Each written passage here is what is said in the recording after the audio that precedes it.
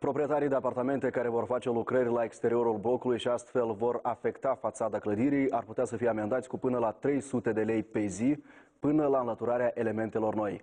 Este una dintre prevederile proiectului de lege cu privire la condominiu elaborat de un grup de deputați și supus acum consultărilor publice.